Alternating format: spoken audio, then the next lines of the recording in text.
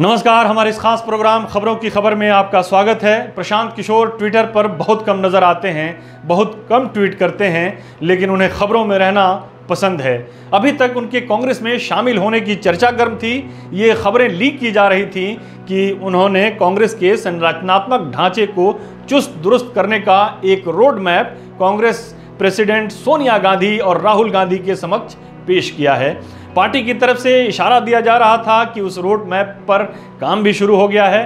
Party के senior नेताओं की नाराज़गी के बावजूद कांग्रेस प्रशांत किशोर को पार्टी के पुनरुद्धार के लिए कोई बड़ी ज़िम्मेदारी की घोषणा करने वाली है।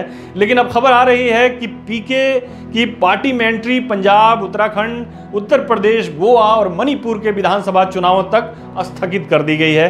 कहा यह जा रहा था कि राहुल गांधी ये चाहते थे कि प्रशांत किशोर को अगर पार्टी में कोई बड़ी ज़िम्मेदारी दी जाती है और वो पार्टी के अंदर आते हैं और चुनाव व्यवस्था को देखते हैं तो उन्हें चुनाव की जीत या हार की ज़िम्मेदारी लेनी पड़ेगी। लेकिन प्रशांत किशोर विधानसभा चुनाव के लिए किसी तरह की ज़िम्मेदारी लेने के लिए तैयार नहीं थे।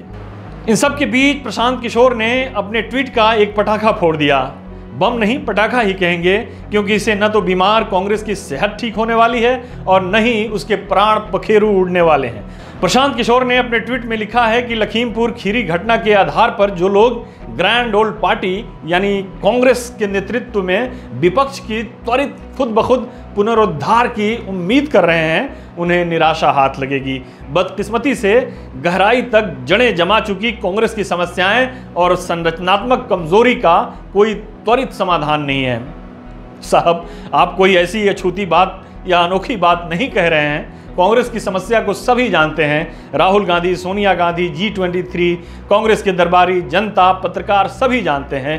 कांग्रेस का चुनावी प्रदर्शन चीख चीख कर उसकी बदहाली की दास्तान बयान कर रहा है। आपने लखीमपुर खीरी से संबंधित दबे सुर में वही बात कह दी है जो गोदी मीडिया का एक सेक्शन खुले तौर पर कह रहा था। राजनीतिक पर्यटन। अब सवाल ये उठता है कि क्या लखीमपुर, खीरी जाकर राहुल गांधी और प्रियंका गांधी का पीड़ित परिवारों से मिलना सियासी गलती थी?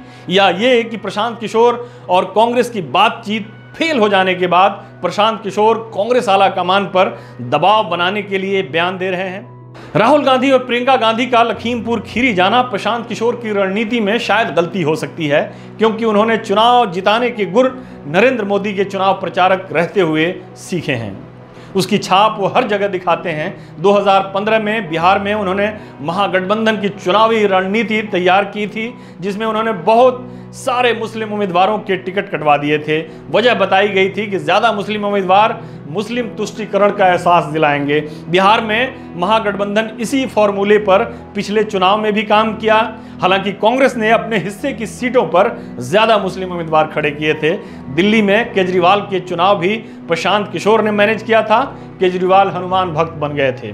सीए के खिलाफ प्रदर्शन पर बयान दिया कि दिल्ली पुलिस हमारे हाथ में होती तो हम एक घंटे में सड़क खाली करवा लेते। ज़ाहिर है, यहाँ भी प्रशांत किशोर की छाप साफ़ नज़र आ रही है। ममता बनर्जी का चुनाव मैनेज किया। ममता भी मंच से श्लोक पढ़ती सुनाई दी।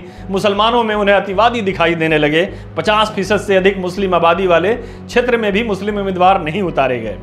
और सबसे बढ़कर यह कि प्रशांत किशोर ने ठीक चुनाव के बीच में यह कह दिया कि ममता सरकार भी मुस्लिम तुष्टिकरण करती है, जिसकी वजह से बंगाल के बहुसंख्यक हिंदू नाराज़ हैं। और पश्चिम बंगाल में मोदी लहर चल रही है। जब बात पकड़ी गई तो खिसियानी बिल्ली की तरह चुनौती देना शुरू कर दिया कि यदि भाजपा तीन अंकों तक पहुँच गई तो मैं चुनाव रणनीतिकार की भूमिका से अलग हो जाऊँगा। भाजपा वाकई तिहाई के आंकड़े को नहीं छू सकी। प्रशांत किशोर शर्त जीत चुके थे, लेकिन उन्होंने फ़ौरन ही ये घोषणा कर दी कि अब वो चुनाव रणनीतिकार के स्पेस को छोड़ रहे हैं। लेकिन उनकी संस्था आई पैक काम करती रहेगी। ये भी अजीब गरीब तरह की गुत्थी है।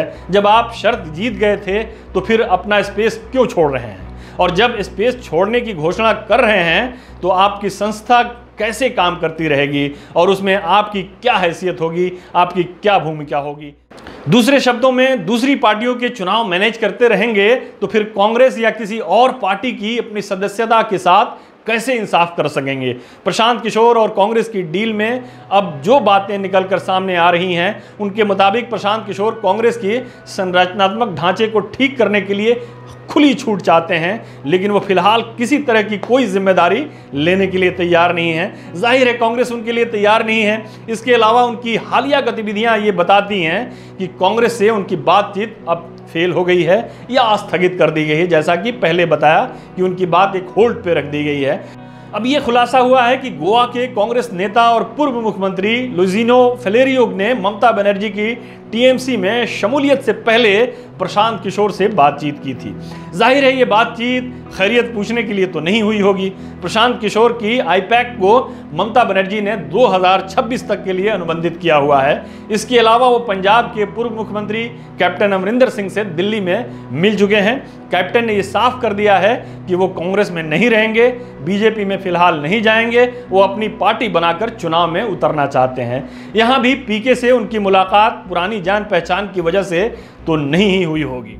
अगर थोड़ा और पीछे चलें तो महज कुछ महीने पहले पीके शरद पवार से मिल चुके हैं और 2024 के लोकसभा चुनाव में 300 सीटों पर विपक्ष की जीत का फॉर्मूला बताए हैं। शरद पवार भी ममता बनर्जी की तरह विपक्षी एकता के नेता बनने का सपना देख रहे हैं। ममता बनर्जी आईपैक यानी प्रशांत किशोर के सहारे कांग्रेस को तोड़कर उत्तर पूर्व में अपने इरादों को ज़ाहिर कर रही हैं। अब वो अरविंद केजरीवाल की तरह छोटे छोटे राज्यों में कांग्रेस के आधार में सेंध लगाकर विपक्षी एकता के नेता बनने का सपने को साकार कर रही हैं। ममता ने 2013 में मुकुल रॉय को अन्ना हजारे के साथ लगाकर अन्ना की मदद से पश्चिम बंगाल को छोड़कर दूसरे अन्य राज्यों में अपनी पार्टी का आधार बढ़ाने का प्रयास किया था। 2014 के चुनावों के लिए संभावित उम्मीदवारों के आवेदन भी मंगाए जा चुके थे।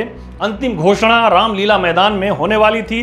सारी तैयारियाँ पूरी कर ली गई थी, लेकिन जब रैली शुरू हुई तो मुश्किल से 50-60 लोग मैदान में मौजूद थे। उसी रामलीला मैदान में हज़ारों की भीड़ से अन्ना अन्ना सुनने के आदि, अन्ना हजारे ने खाली कुर्सियों को संबोधित करने से इनकार करते हुए रामलीला मैदान में आने से इनकार कर दिया। ममता आई थी और ये कहकर अपनी खिसियाहट मिटाई थी कि ये उनकी नहीं, बल्कि अन्ना हजारे की रैली है। अन्ना ने उन्हें बुलाया है। बहरहाल 2014 में रामलीला मैदान की खाली कुर्सियों ने ममता को अपने देशव्यापी इरादों से बाज रखा। अब बंगाल में पीके की मदद से लगभग हारी हुई बाजी जीतने के बाद उनके इरादे सातवें आसमान पर हैं। विपक्ष की अपनी उम्मीदवारी पक्की करने के लिए वो इस मिथ्या को तोड़ना चाहती हैं कि देश की 200 सीटों पर कांग्रेस और भाजपा में वन टू वन फाइट है। अभी इनका मकसद उन 200 सीटों को भाजपा और कांग्रेस के बीच वन टू वन मुकाबले से बहुकोणीय मुकाबले में बदलना है। यहाँ सब कुछ भाजपा की इच्छाओं के अनुरूप चल रहा है। भाजपा यही चाहती है कि 2019 की तरह विपक्षी एकता के अगुआ के अनेकों दावेदार बने रहें और उनकी चुनावी वैतरणी बिना किसी रुकावट के किनारे लगती रहे।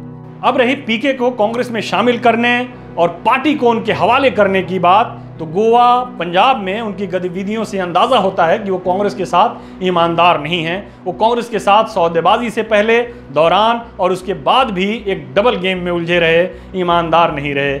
ईमानदार इसलिए नहीं क्योंकि वो विचारधारा के जुड़ाव या कन्विक्शन के तहत कांग्रेस में आना नहीं चाहते, बल्कि अपनी प्रोफेशनल इच्छा की पूर्ति के लिए आ रहे हैं। कांग्रेस भले ही दो चार राज्यों में उन्हें चुनावी रणनीतिकार के तौर पर अनुबंधित कर ले, लेकिन संगठन मज़बूत करने के नाम पर पूरी पार्टी को पीके के हवाले करना खुद को यमुना में विसर्जित कर देने के बराबर है। अपना ख्याल रखें, खुश रहें, खुदा हाफिज। हमारे साथ जुड़ने के लिए आपका शुक्रिया। हमारा वीडियो पसंद आए तो इसे लाइक करें, हमारे चैनल को सब्सक्राइब करें और कमेंट बॉक्स में जाकर अपनी राय ज़रूर दें।